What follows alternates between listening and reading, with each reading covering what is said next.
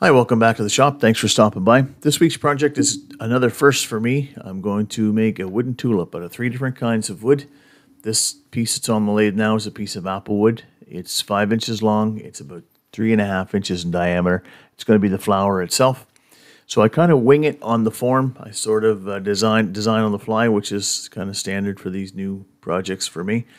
Um, the turning is sped up about two, no more than two times. Uh, most of it's sped up two times just to make the video a reasonable length.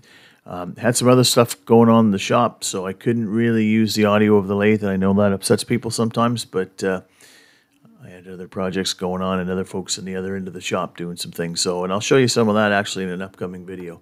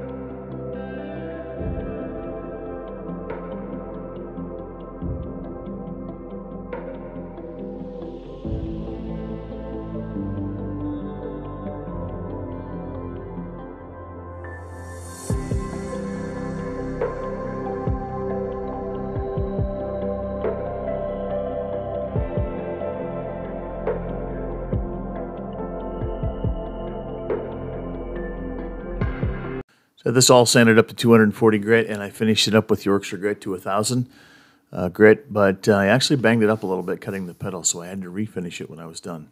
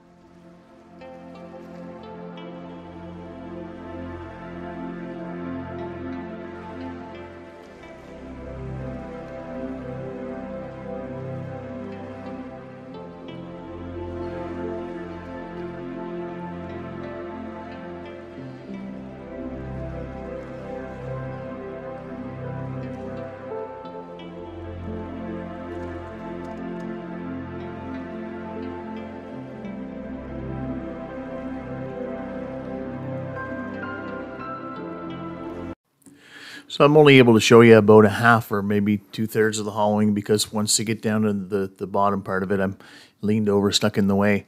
So I'm going to bring you back when I'm laying out where the petals are here and I'll just finish up the hollowing off camera. This first line is going to be to the bottom of the V or the, the arc of the petals. And then the second line is going to be where the slot, they're going to put a little slit down into it um, beyond the V. So I use the indexing tool on my lathe to make a mark, um, four marks, all each a quarter of the circumference. And then I made four other marks on the first line down, which is also uh, at a quarter of the circumference, but it's in between uh, the other quarters. So it's really divided in eight. So we have the, the marks at the top for the tops of the petal and the marks on the second of the first line down to show where the bottom of the petal is. And then as I said earlier, the third line down is just going to be a slot cut down in uh, straight down to that line from the bottom of the V. I just used a French curve to, uh, to draw these out so they'd be somewhat uniform.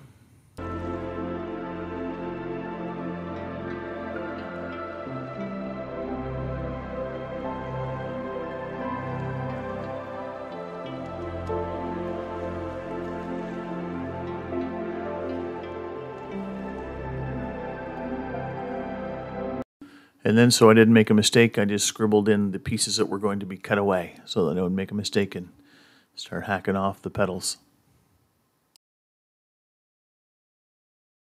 My plan was to use this Dremel tool to uh, to cut out these parts and then hand sand it, but this was not going to work out well, and I could tell right at the start that this was not going to be good. So um, I don't have a coping saw. I will have one soon, but I, I actually found the finest cut uh, recip saw blade that I had, and I cut these notches out with that. And I'm going to spare you watching all that, but it did work pretty good, other than. Um, Sometimes I would go just a little too uh, quickly with it and the tip would hit on the outside of the, the flower. And that's why I had to go back and refinish it. Turned out fine in the end, but uh, it did cost me to have to refinish after I had all these cut. This was the most time consuming part. Obviously, um, I started 80 grit and I finished up with 800 grit to get these nice and smooth, but it was uh, all done by hand and, and not fast. And you can see some of the marks on the outside where I touched it with that recip blade that I had to go back and fix. And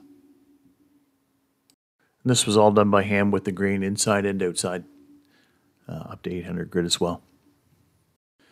So I shaped the bottom of the flower and I didn't realize the camera wasn't on, but I sanded it up to 800 grit the same as the rest.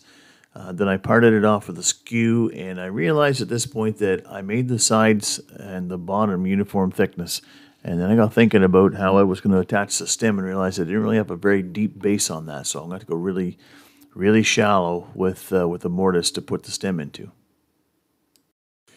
So it's just a piece of inch and a half mahogany. And all I did here was um, I turned the profile of the leaves in the center of this. And I left the headstock in with some flat surface on it. And you'll see that when I'm finished turning it. And I used that flat surface to lay on the bed of my bandsaw so I could split the profile piece right into uh, up the center, and that would leave me a leaf for each side.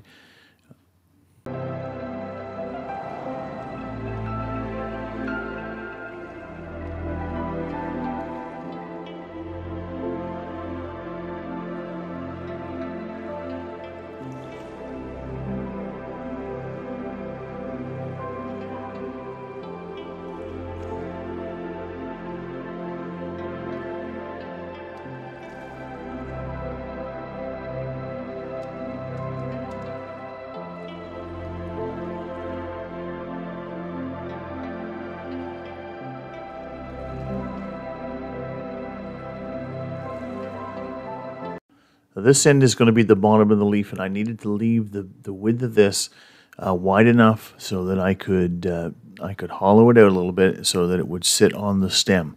So I didn't want to go too small, but I wanted to be as wide as my stem, not wider, not smaller.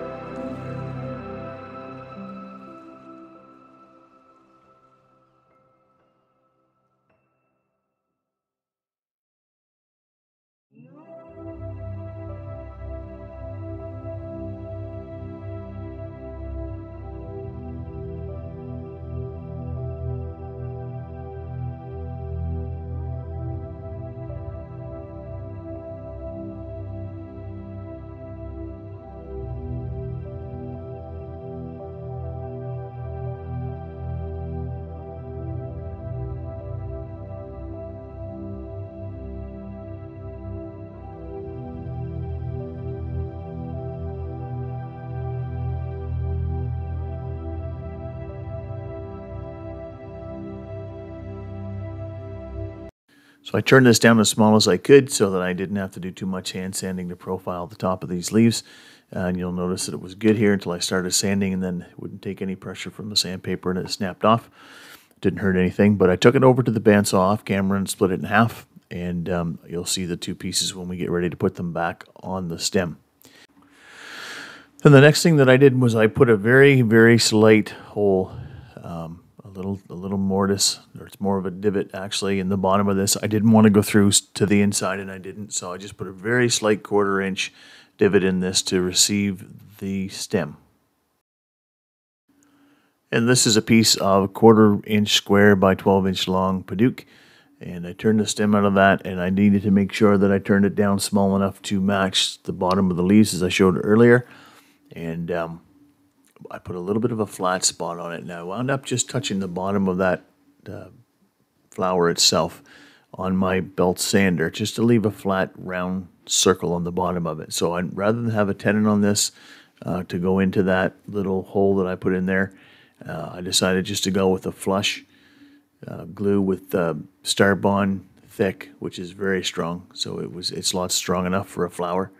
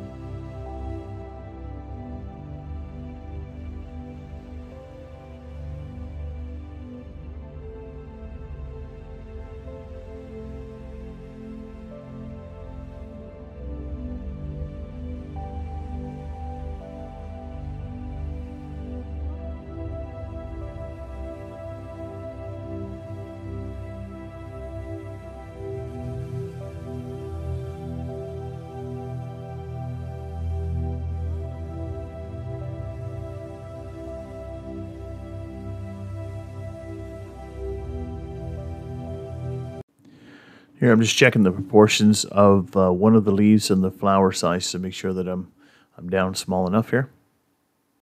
And I decided I had to go a little bit thinner than what I'm at here now.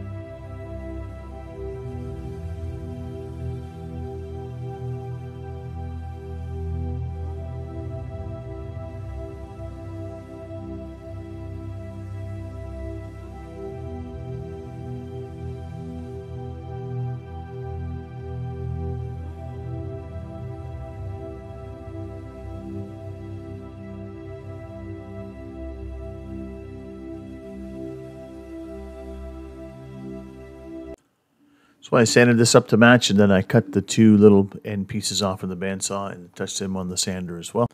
Then the next step I had to put the little um, indentation in the bottom of the leaf so that it would fit onto the stem good and, and have the leaf come off at the right angle. I just did that with a little Dremel tool and um, I've got a bit in this. It's about the same diameter as the stem which worked out great.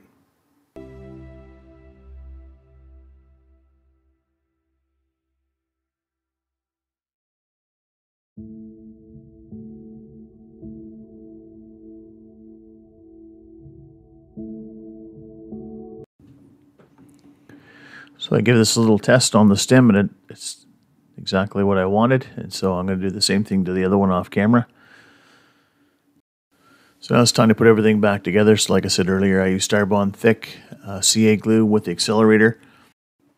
So I glued the flower on first. That way I would be sure that the leaves uh, weren't going to hit the flower and that would fit on the stem without being interfered with by the leaves. So I put the glue on the flower, accelerator on the stem, uh, stuck them together, and uh, with the accelerator it only took a few seconds and it was great. Did the same thing with the leaves.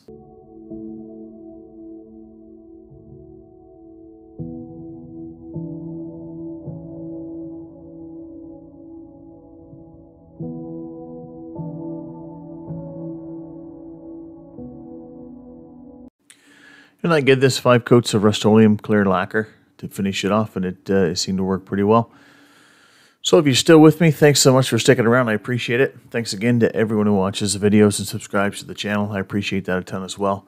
If you like what you saw and you haven't subscribed, please consider doing so. Now I'll put some pictures up at the end, and we'll see you next time.